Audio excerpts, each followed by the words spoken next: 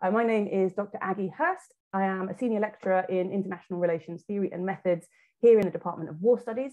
And I'm also the EDI lead um, for the department, in addition to sitting on the decolonization of the work stream steering uh, group uh, for, for, the EDI uh, faculty group as well. Uh, I'm delighted to be welcoming you to today's session, uh, which is a discussion of the 100th anniversary special issue of the journal International Affairs, which is titled Race and Imperialism in International Relations, Theory and Practice. Um, what we're going to be doing in today's session is hearing from the special issue's two fabulous editors, uh, who I will introduce to you in a moment. Uh, first, just a quick word on what it is that the special issue is trying to do. Um, the special issue explores the question of whether there is an academic policy divide uh, in the context of discussion on race and imperialism in international relations. Um, and in this 100th, 100th anniversary special issue, um, what uh, the uh, editors and the contributions are seeking to do is to think about the role of academia as a supplier of knowledge uh, for colonial policies, uh, to think secondly about the influence of imperial practice and policymakers in shaping IR and academic knowledge production, and then uh, thirdly and importantly contesting um, from, from academics or contestation, I should say, uh, from academics and or practitioners against racial hierarchies in knowledge production and policymaking. So I'm delighted to welcome our two uh, fabulous guests, uh, our fabulous guests today, who are the editors of this brilliant uh, new forthcoming special issue. Um, first of all, we have uh, Jasmine K. Gani, who is senior lecturer in the School of International Relations at the University of St Andrews and also co-director of the Center for Syrian Studies. Uh, Dr. Gani writes and teaches on colonialism, race, knowledge production, US-Syrian relations, and ideologies and social movements, uh, particularly in the Middle East. She is author of The Role of Ideology in Syrian-US Relations, which has, uh, came out in 2014 with Palgrave, and also co-editor of the Routledge Handbook of Middle East and North African State and State Systems that came out in 2019. Also author of uh, Actors and Dynamics in Syrian Conflicts Middle phase. Uh, recently, last year, I believe, came out with Routledge. Um, our other fabulous speaker is uh, Dr. Jenna Marshall, who is senior researcher at the Chair of Development Policy and Postcolonial Studies at Universitat Kassel in Germany. Uh, she previously held the Sassoon Visiting Fellow in South Asian and Black History at the University of Oxford and serves as co-convener of the, post, uh, the colonial, postcolonial and decolonial uh, CPD working group uh, of BISA.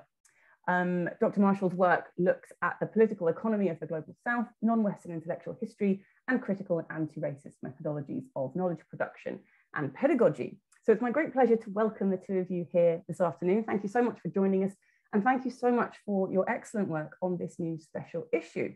Um, what we've decided to do today is to structure this as a discussion, as a conversation back and forward.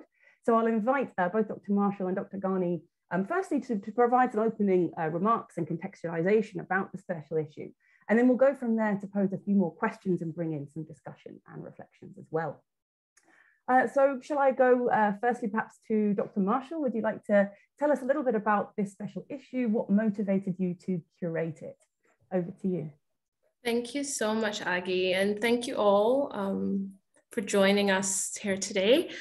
Uh, yeah, I just want to just chart out some of the motivations and the aims of the special issue. Uh, Jasmine and I had been in conversation over some period of time when the open call for the special issue came about. And we were really motivated in particular by the moment, which was that of the murder of George Floyd, as well as the subsequent Black Lives Matter protests. And we both were working on race, you know, broadly defined. And we wanted to make legible in a way on the moment. And we thought, okay, well, international affairs, world renowned journal, how can we think about the production of knowledge and as well as policy by putting race and empire at the center of our conversations. So I, that was the kickoff point, and and then the proposal continued, and we were fortunate enough to be um, accepted um, to be the guest editors for the for the special issue. But I just want to briefly identify four I think, or maybe five of the, of the broad aims uh, that we wanted to um, identify and pursue for the project. And, and the first was we wanted to take the moment, we wanted to take the occasion as one of reflection. Um, we wanted to reflect the journal's history, but also its continued relevance to policy and how the legacies of race and empire have in, in a way work to constrain how we think about the international. And I think for many who study empire or even study race, empire is you know, confined to the past. And we wanted to actually push against that um, logic and think about how empire, um, I guess with a capital E, has ended, but there were still um, uh, colonial afterlives. And we wanted to interrogate how these afterlives were reproduced and sustained. And also with race in particular, race is typically confined to the domestic sphere. Um, and we typically see this uh, in, in the United States in particular. There's um, a plethora of work um, there, but we wanted to then again broaden how we conceive of the international and look at race as actually one of the structuring logics um, of the international. And again, how that inflects policy. So the second aim for us, following on from that, was to offer a corrective to the systemic denial and erasures of race and imperialism to the study of IR. And then thirdly, as I've mentioned, we wanted to broaden what could be considered acceptable within the discipline. So when you read the special issue, you would see that it's not simply foreign policy as we understand it, in terms of national security policy, but broader understandings of what policy is. So we look at, for instance, um, the, the politics of memory, for instance, and how that is meted out throughout the different, different countries. And then also we wanted to render intelligible the political life of marginalized peoples and communities, and those who typically reside outside of the epistemic communities within the academy, as well as in the policy world.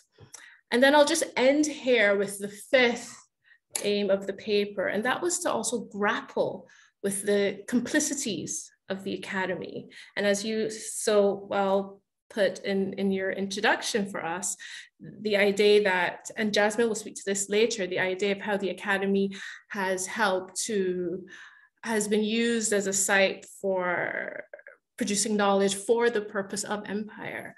So with that in mind, it was how do we then grapple with these complici complicities, including our own?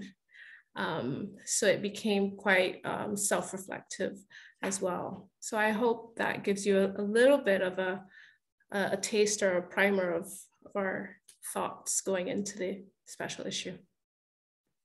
Absolutely, thank you. And I, I think, as you so articulately say, you know, beginning our analyses or attempts to grapple with these questions with the idea of our own embeddedness in the institutions that, that historically, but also today to perpetuate these relationships is, is so key. Um, so thanks so much. Great. Um, over now to you, Dr. Gani, for, for your uh, reflections on, on that question of, of the motivations of, of curating the issue.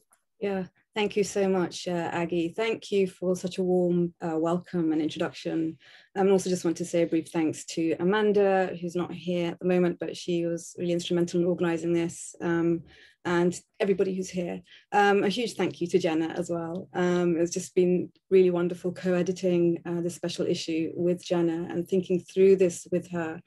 Um, and Jenna's covered some really foundational um, points in terms of what motivated us uh, in doing this special issue. Really huge thank you and credit as well to International Affairs as um, the number one leading journal um, to have the courage, right, to select our proposal which we thought this might be a bit too radical for international affairs, but but they were bold enough to to take it in that direction and been really supportive and really enthusiastic about this project. And I think that's really helped and been really uplifting. And so as Jenna mentioned, there's some key um, arguments and propositions that we're putting forward with the special issue, which we're so delighted with all of the contributions, all the articles which have coalesced to bring these arguments forward. And, and the process actually was a very iterative one um, where we held a workshop um, at the beginning of, in January 2021. We brought all of the contributors together and they presented their work and what they're hoping to develop in their articles. And there's just some really fantastic conversations that came about through that. And, and actually, I think all of us, we fed into each other's ideas. So it came about as a result of that conversation with everyone. And so as, um, as you articulated in, in the beginning, Aggie, um, the first key argument in many ways that we're putting forward, especially with international affairs being a journal that's widely read, not just by academics, but also policymakers, is to grapple with this idea. It's, it's quite long-standing idea, actually, that the, the academics reside in the ivory tower um, and that our work is quite abstract and it might not always have a relevance for the real world. Um, and that actually we have an obligation and responsibility to make it intelligible and applicable and that might often be a, a, common refrain from academics who do work in, in foreign policy policy arenas. And for myself, um, I've come into IR actually being keenly interested in foreign policy and something that um, often is has been asked of me is how does your work on foreign policy analysis relate to also your work on which can be seen as quite theoretical quite historical on race and imperialism and so this question of how do we bring the two together um, was something that was really driving us. And there's been a lot of great, fantastic work, um, not just in recent times, but for decades actually, by academics who've been working within international relations in other disciplines who have really developed and theorized on race and empire. Um, so we're not the first ones to do this at all. We're really building um, on, on their work. Um, but it's we really wanted to also connect it to the, the more theoretical work um, with, with policy. How do we theorize that relationship? So the first contention is to actually challenge the idea that there is this gap between policy and academia, because actually historically, as the articles demonstrate, as we say in our introductory article, they're very close, they have historically been very closely entwined. And so then we developed sort of two key ways in which um, they have been entangled.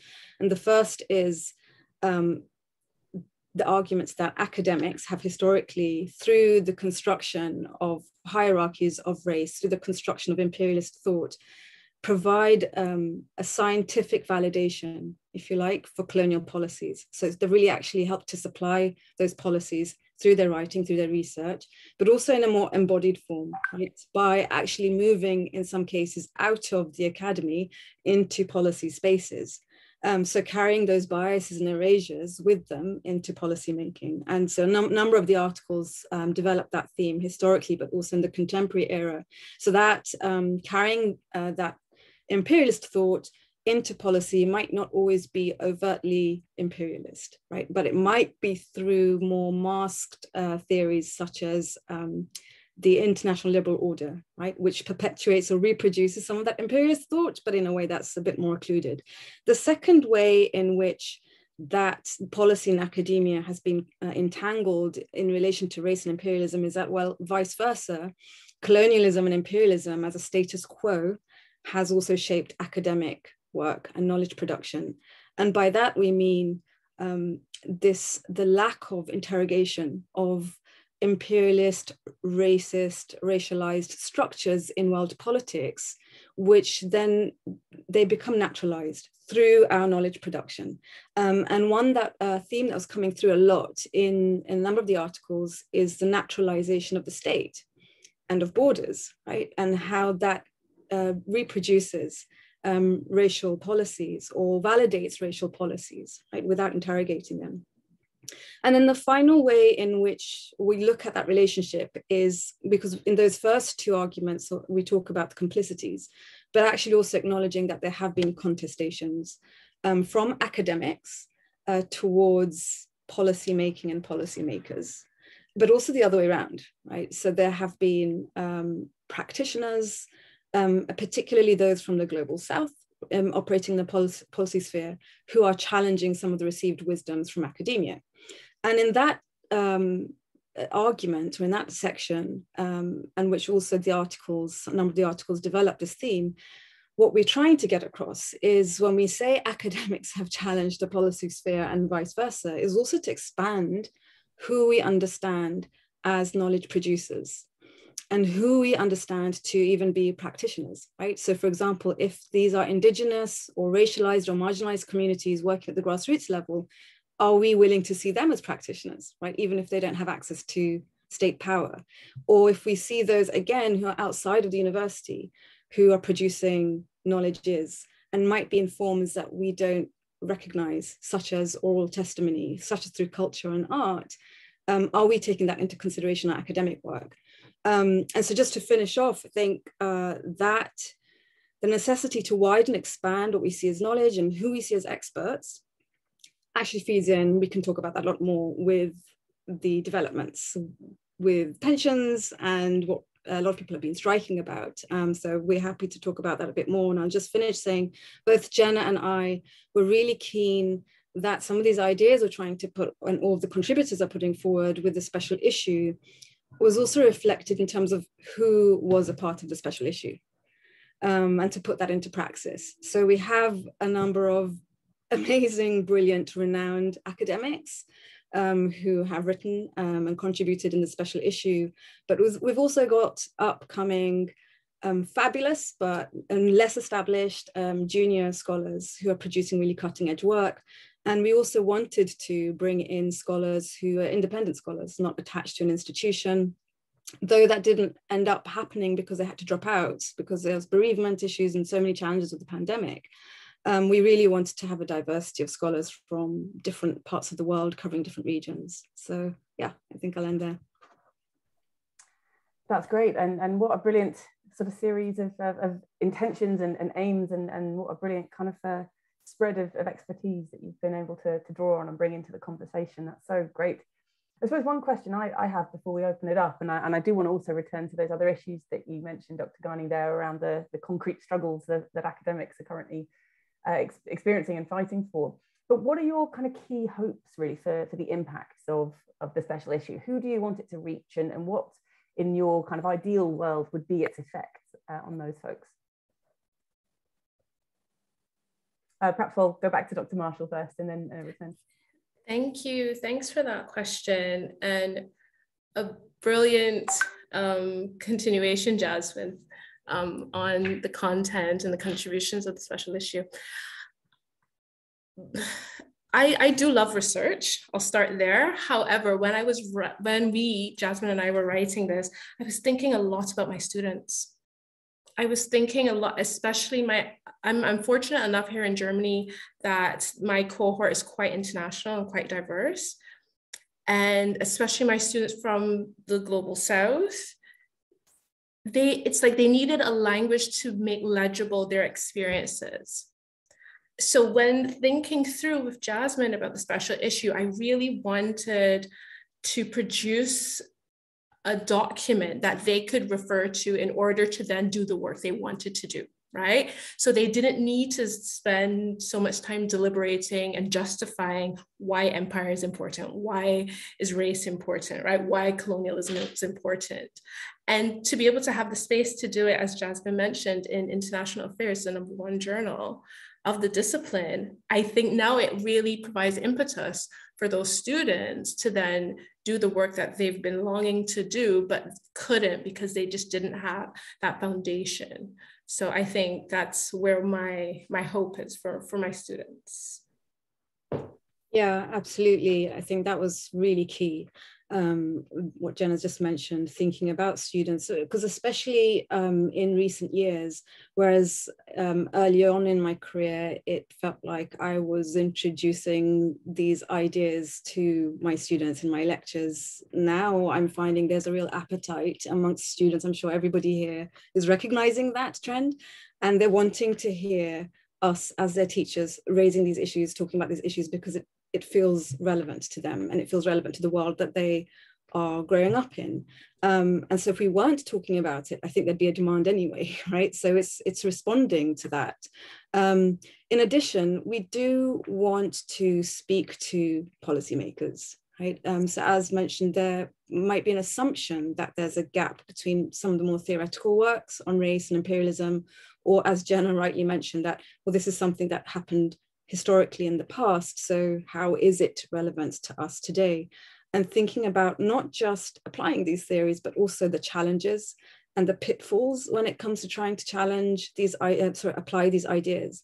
Because sometimes there might be good intentions, but if we're not thinking about, for example, if we're collaborating with grassroots communities or um, local indigenous communities in our fieldwork, or when it comes to policy making, inadvertently, actually, we can reproduce some of those hierarchies that exist between policymakers and knowledge producers or people from the global north and the global south, um, and just even in a structural sense, not just even in the knowledge that's produced. So just being really conscious of that is important. And I think also obviously to our community, right? Um, not just in international relations, very there is a lot of interdisciplinary approach to some of these articles, but academics broadly I think I've noticed that um, a number of colleagues who might not have engaged as much with these issues, given the fact that it's being published in international affairs. And then we also recently had the launch event at Chatham House. It almost allows people to talk about something that might have felt marginal or niche or a bit radical and recognizing that this is actually it's it's justified this is a central issue in international relations and not to worry that they'd be pigeonholed um, so yeah, I, I hope we hoped that this would reach a sort of wide, quite diverse audiences. I think that's great and, and extremely well put. Uh, I mean, it's always a challenge, right? Of how does one sort of translate one's uh, aims and, and the content of academic thought or academic work for both those students coming up in the field, but also those who say, and, and the purpose of the special issue directly speaks to this, of, of those people out there for whom sort of immediate decision making and practical responses really are the order of the day, um, who don't have the, the time or the scope for, for the kind of theoretical musings that we might uh, do here in the institutions that we work in. Great. Um, I wonder if it would be an idea to, to draw in some other um, speakers at this point. Um, there are some other questions I've got, but I would love to hear if any of our attendees have any questions uh, for our speakers at, at, this stage or would like to follow up on any points raised so far. Uh, do throw your uh, microphones and cameras on if you'd like to come in, or alternatively, you can post in the chat. Um, I don't think we've got anything in there so far, but you're most welcome to do so. Uh, anybody want to, to come in with a question or comment at all?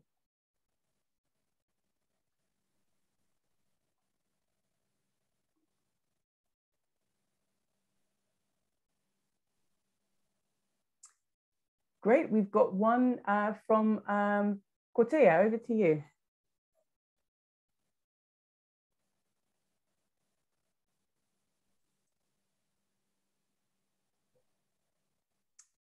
Are you able to pop your microphone on? Uh, otherwise, you could pop your question in the chat if the uh, microphone isn't functioning.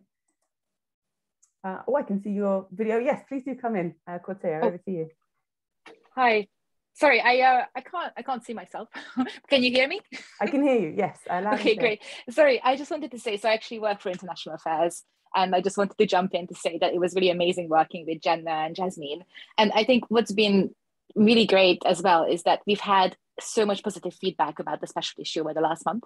Um, especially sort of on social media after the launch event that we did a couple of weeks ago which has been really great because um, um, we've had sort of a, a, gender parity initiative in the journal around 50-50 and then with this issue as well like we were hoping that we it would have a supportive reception but there's always a worry that you know do you have to prepare for people questioning it on twitter for example and we've had we've had none of that it's been it's been a hundred percent positive response that's wonderful to hear my goodness yep. apologies for mispronouncing your name there I, I think I was uh, referring to you by your surname rather than your first yes, name. Yes, that's fine. Sorry about that. no worries. My computer system being confusing. Um, but that's wonderful to hear. I don't know if um, either of our speakers would like to respond to, to that piece of news. Just that, I mean, Christina's been brilliant. And um, yes, I, second that really yeah. supportive and definitely one of the people that we were referring to in terms of the support that we've received the enthusiasm really facilitating this and um, has made us feel very hopeful, right? Um, that this is these changes, it might take a long time, but it's possible. Um, so I think giving that hope and, and facilitating is is been so important. So thank you, Christina. Yes, um, I just also want to to express my thanks and gratitude to the team, but I, I, I was a little bit shocked. I think Jasmine and I, I think I could speak for Jasmine as well. We were a little shocked that there was like no, no negative. We are like, everyone's really been on board, and we thought, okay, we're talking about race and empire, and these can be hot button topics. But I think for us, or at least from my point of view, we really were quite rigorous in terms of the research. So it wasn't about, typically when we discuss race, it becomes quite emotive and it becomes very individual, individualized. And for us, it was really talking about a history and how it has continued and how certain processes sustain these logics and these and and these ways of thinking and, and producing knowledge so I we were very comfortable, I think, to standing in the project and knowing that uh, the work would speak for itself. And even if there were to be um, any negative feedback, that we had done the work and IA had been, you know, quite you know rigorous in in the in the peer review process so we were really happy to see that there weren't any negatives but we also were quite confident with what we produced as well Absolutely. I mean, just to add to Jenna's points there that um, all of the contributors mentioned that a it was on it was probably one of the most rewarding experiences and positive experiences they had had um, in um, publishing, but also that it had been the most challenging and most rigorous. So it's something like five or six reviewers, multiple rounds of reviews, we really pushed everybody and thank you to all of the contributors for being very patient and persevering yeah. so um, yeah there was a lot of and precisely for that reason we we anticipated that these arguments that can they'll receive pushback or could be challenged and so therefore the argument needs to be really concrete and substantiated and all of the um, contributors really rose to that challenge that's great. That's that's wonderful to hear. Thank you, Christina, for, for coming into the conversation and, and thanks to, to both speakers for those responses. I mean, I, I think any of us who've done any work on these kinds of issues, uh, whether in our research or in our sort of institutional capacities, you know, it's no no secret that, that it is a hot button issue and can precipitate all sorts of reactions. And, and my hope is that the more work of this kind takes place, the more mainstream it becomes. And as you say, the more really rigorous, ex excellent scholarship can demonstrate that these are not sort of ideological issues or anything like that, but they're simply empirical and historical and, and contemporary issues which warrant you know serious academic study and, and, research. And I think really we are moving a pace in line with what uh, you were saying about students now, you know, having an appetite for this. You know, there's the the movement from from below, from the from the younger people, from student bodies, you know, demanding an accounting of, of these things. But also I think institutions in parallel are starting to realize that this is it's not a, a, fringe question. It's something absolutely that sits at the heart of everything to do with our, our disciplines, but also our material and historical institutions and, and locations. Um, on which point, it would be interesting, I think, to link some of this to some of the kind of concrete struggles that academics uh, really indeed up until indeed yesterday have been um, engaging in here in the UK and again we'll be doing so next week. And of course, the very devastating news that we've had just in the last 24 hours about the uh, cuts to pensions having been um, ratified. Um, how do you see your work in this area and the special issue in particular, sort of speaking to these broader questions about things like workloads, inequality in uh, employment, uh, things like the, the race and gender pay gaps, of course, uh, casualized contracts that disproportionately affect certain uh, members of our communities, as we know. Um, what, what's your sense on how these things intersect from the practical sort of position that you're coming from in, in the special issue?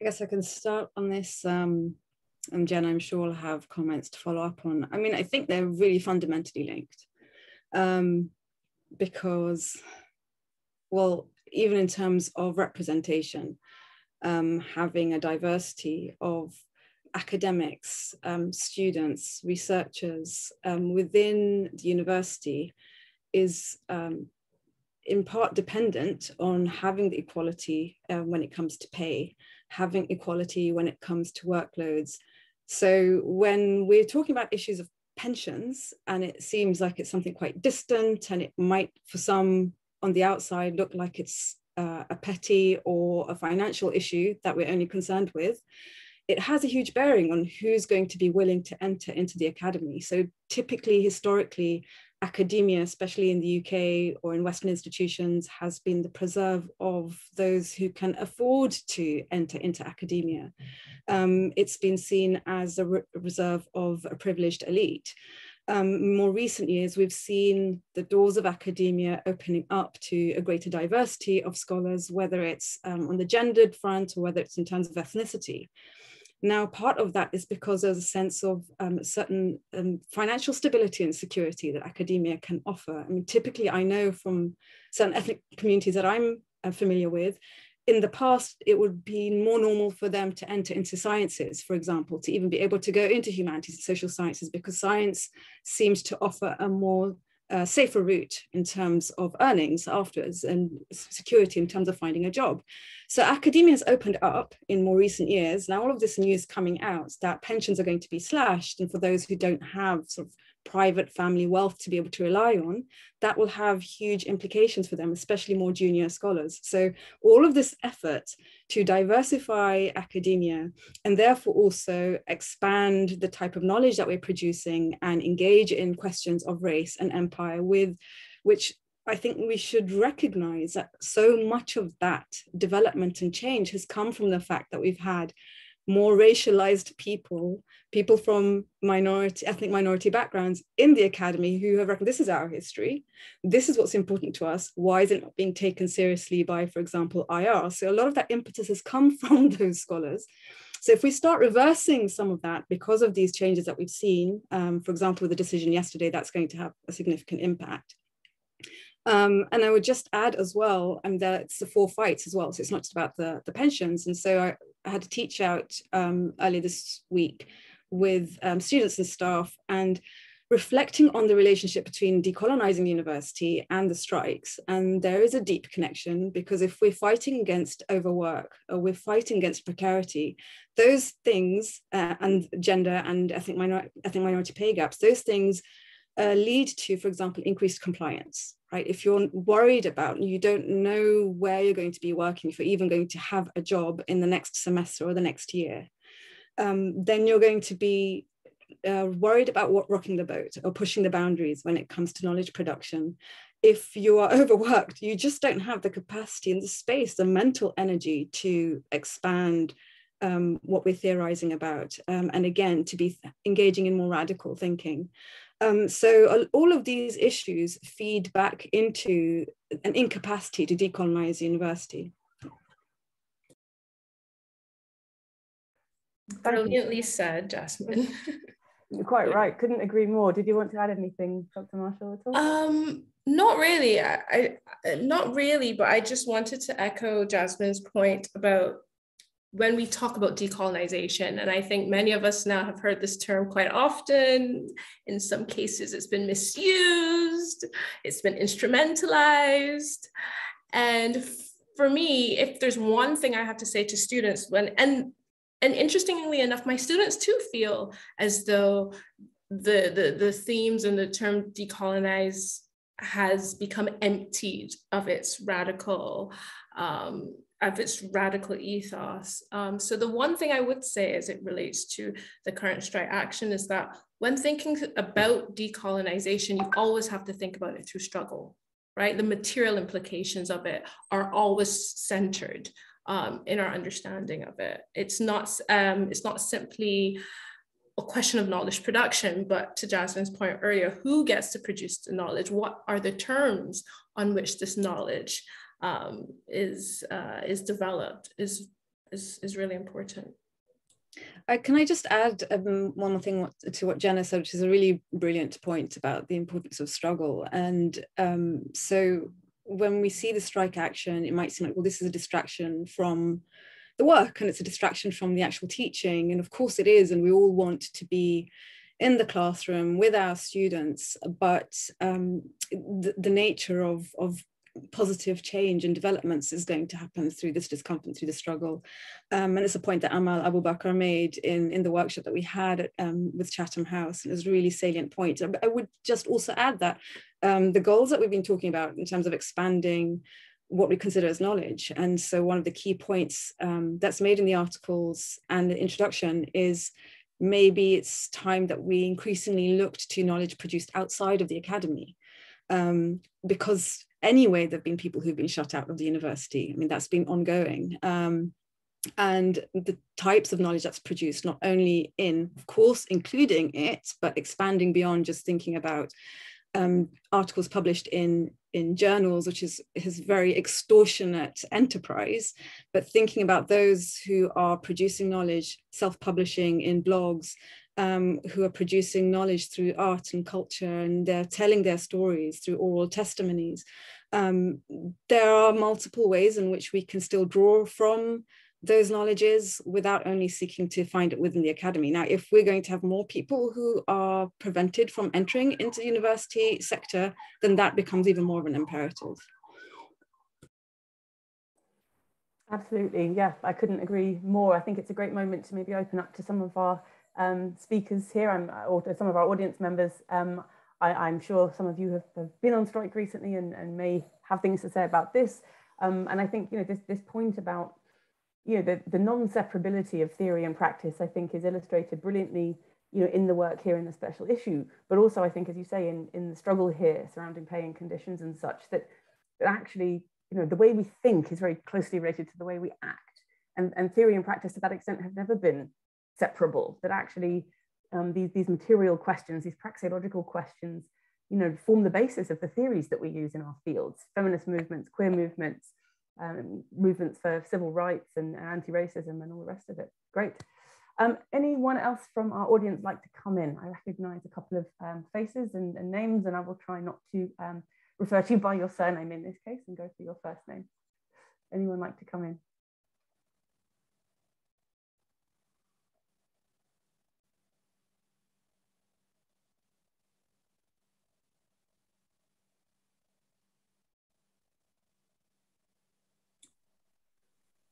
They're all ruminating. Indeed, or perhaps you've answered all, all the questions already that, that, people had. Um, always means that you've you know you've done your job well if people are uh, already fully uh, informed. Good. I mean, I can pose perhaps one question to, to wrap us up if nobody else wants to come in. I mean, obviously we've talked about how um, one of the key aims here of the special issue is to contribute to kind of mainstreaming and embedding conversations about race and anti-racism and, and ethnicity and, and uh, post and decolonial issues. Um, how, in your experience, do you think we can continue to sort of move beyond the communities who are already convinced of this agenda and draw in people who might be ambivalent in some way, who might be sort of outside the sphere of the conversation, even might in some contexts be, or some, some cases be, be hostile to this, think that actually, you know, IR is not about race and racism, it should be about, as you said, states or militaries or whatever it might be. So do you think it's important to try to sort of bring uh, other folks into the conversation? And, and if so, sort of how, how might we go about this? Um, thank, that's a fantastic question to conclude. Um, Jasmine, you don't mind if I, and I know you'll have much to say as well. Um, Jasmine and I, we thought about this, um, this question, and we, we, we wanted the special issue the audience of the special issue to be a broad church. And Jasmine spoke uh, about policymakers and students and fellow fellow colleagues. But if if one were to say, okay, you know, international relations is about questions of war and peace and so on. For me, it's it belies the fact that the world that we live in was shaped by empire. So, empirically, we must be able to grapple with and interrogate how empire has worked um, to, to create. Sorry, I'm getting distracted by the sorry, but we have to be able to interrogate how empire has been able to um, to construct the institutions and the, and the processes that we understand in the contemporary world. So I just think um, to, to seek to erase that is to erase how the modern world has come into being. Um, so that would be my, my response to that. But Jasmine can put it in a way more eloquent way. that was beautifully put, and absolutely agree with, with what Jenna has said. Um, when we teach on these issues, it's it's always interesting that whatever might be seen as a starting point in IR, and certainly the way that I was taught IR, I migrated out of history into IR. So I had to sort of learn a lot of those theories and realize, okay, there's a lot of stories that are not being taken into consideration here. And we, whatever might be seen as a starting point, you'll find there's another starting point, and that starting point often is a very imperial one and a colonial one. Um, so yeah, I think just from a, a perspective of rigor um, and empirical accuracy, it's necessary to take that into consideration. The other thing I'd say is it's hard to convince or provide an answer it just as a short response, right? And that's what the special issue is, is for. I mean, there's 15 articles there. Um, each of those articles draw upon um, years of uh, and really expansive research from each of the contributors. And they painstakingly lay out the arguments that respond to that exact question. Um, so uh, we would say we recognize it's a valid question, right? And we're not dismissing it. And that hopefully by engaging with the special issues, some of those queries and those doubts and those concerns would be addressed.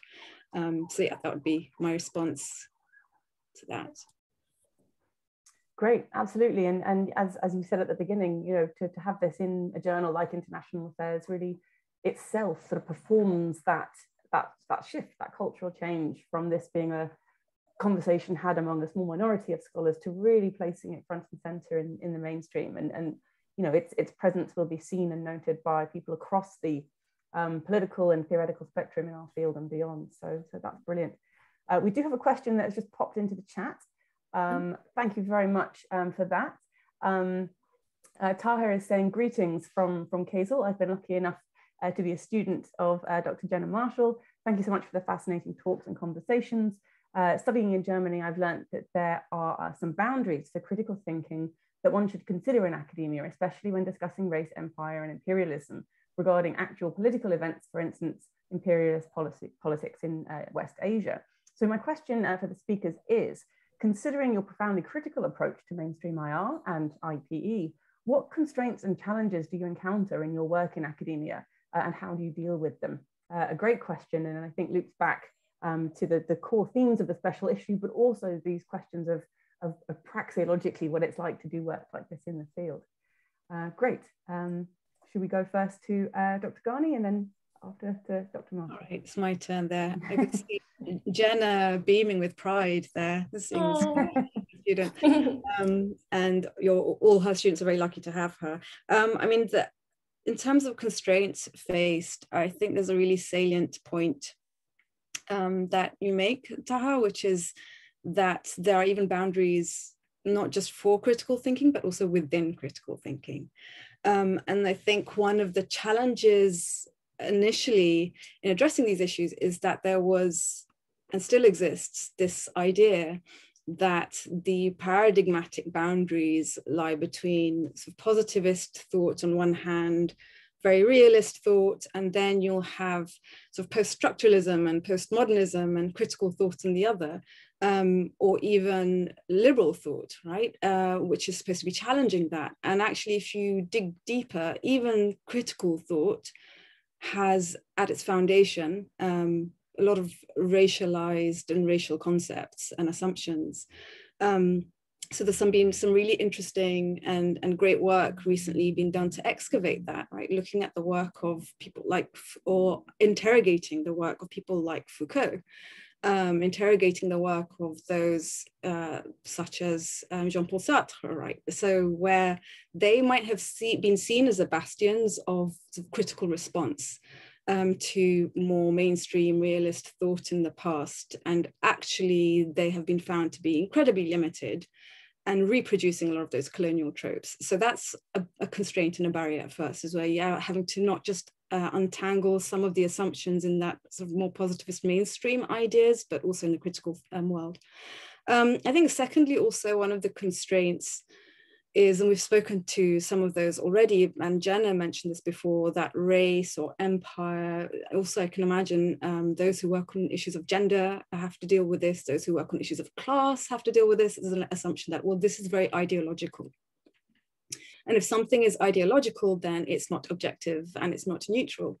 And again, what something that special issue is seeking to challenge is, well, if you're engaged, if you're discussing issues of the state and you're accepting concepts such as borders or um, imperialist concepts such as, you know, what should be, um, who are the primary agents or what are the primary goals when it comes to world politics, then those are actually deeply embedded within certain um, ideological thinking. It's just that we've been so socialized within academia to think that these are this, these are the norms and these are objective goals right? And these are objectively the main agents of IR, that we don't see the ideology behind it. Um, so that's also, I would say, something that exists as a constraint. And one of the ways in which we, we challenge that is to point out that all of this might be ideological thinking. And once you recognize that, then you're in a position to critique. And the final thing, before I hand over to Jenna, I'm sure she's got a lot more to say on this as well, is that um, a, a, a, question that I get a lot, um, and I think it's a very good question, and increasingly so, by the way, and from students, or it was a question that came up in the Chatham House event, and Jenna mentioned it, but we didn't have time to talk about it, is that it looks like sometimes when we talk about race and empire that we're only critiquing the West, um, and we, we're not taking into consideration actually aggressions and examples of imperialism from states from the global South, um, from the East, right? Whether it's Russia, whether it's China, or historical examples um, from the Middle East. Um, and I guess our position on this, and certainly one of the responses I give, is that whether it's decolonizing, anti-colonialism, even feminism, or whichever ism we look at, which is supposed to be emancipatory, ultimately what those uh, theories and those approaches are concerned with and certainly what I'm concerned with is the issue of justice. So if something is unjust, it's unjust, right? So yes, I think it's necessary to also reflect on how decolonial, uh, anti-colonial, anti-racist thought can also be used to apply to those countries or agents from the global south, for example, or non-Western contexts who are also sometimes reproducing um, imperialisms that have been inherited from the West as a result of the colonial experience, or also have historically had their own racisms that need to be attended to. So by no means would we say this is only a Western problem, but I, I think we do need to recognize that at least over the past 100, 150 years, the West has been the hegemonic, dominant imperialist power um, on a global level. And so therefore, just from an ethical standpoint, beginning with those who are the most hegemonic and have the most power seems like a logical starting point. Absolutely. Thanks very much. Uh, Dr. Marshall, over to you.